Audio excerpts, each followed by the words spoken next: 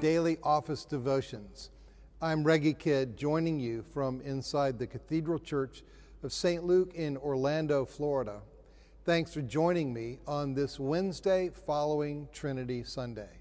Given where Easter falls this year, our readings should have us in proper six of the daily lectionary.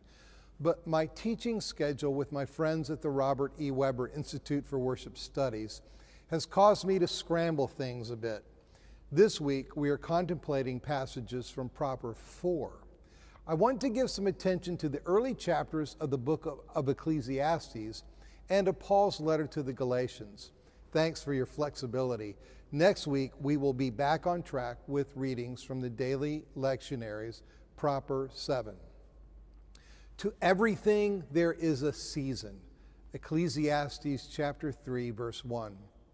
How lovely it would be to be so perfectly attuned to the need of any moment that you instinctively know whether to plant or pluck, kill or heal, break or build, embrace or not, keep or throw away, be quiet or speak up, love or hate, make war or make peace. I don't know anywhere in all literature in which this ideal is more elegantly expressed than in these verses that which is has already been, that which is to be already is, and God seeks out what has gone by. Ecclesiastes chapter 3:15. But in any given moment, how does anyone know exactly when, for instance, to be quiet or speak up? From 1 Kings, we think of Solomon as having precisely this sense. He asked the Lord for wisdom, and the Lord made him the wisest person on earth. 1 Kings chapter 4, verses 29 through 34. To illustrate the point, we're given the story of the case of two prostitutes disputing over one dead baby and one live baby. 1 Kings 3 16 through 38. That's all well and good.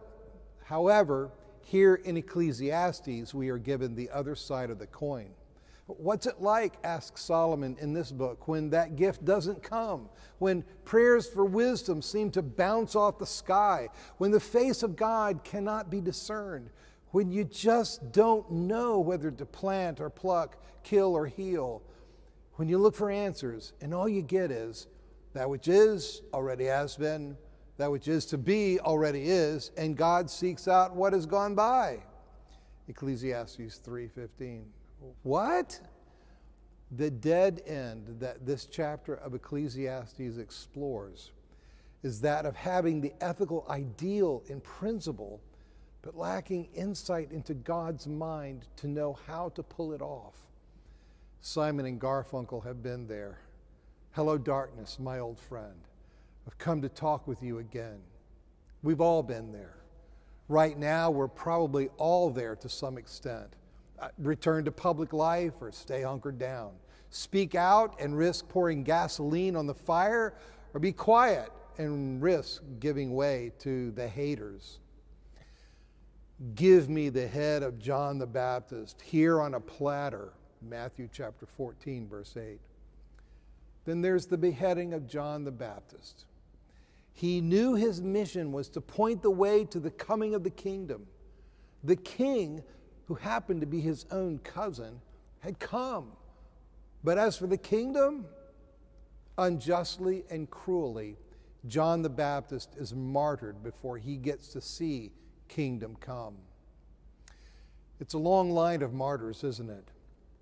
Early in June, in the course of remembrances in the liturgical calendar, these names come before us Justin Martyr, June 1st. Blandina and the Martyrs of Lyon, June 2nd. The Martyrs of Uganda, June 3rd. And big enough sinner, but Jesus loving George Big Floyd Floyd, victim of police violence in May of 2020. And only too recently, one of my doctoral students at the Robert E. Webber Institute of Worship Studies, Emmanuel Bileya, one of the kindest, sweetest spirits God ever led into ministry, and his wife, Juliana, martyred in Nigeria during a vicious ethnic war.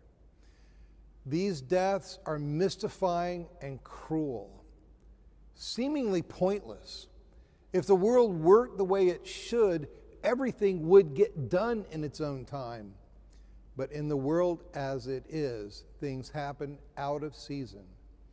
Dancing when there should be mourning, killing when there should be healing, war when there should be peace, throwing stones when there should be gathering, and all along, the face of God seems sphinx like, his purposes hidden. That which is already has been, that which is to be already is, and God seeks out what has gone by. If the horizon of Ecclesiastes were all there were, these words would be a counsel of despair.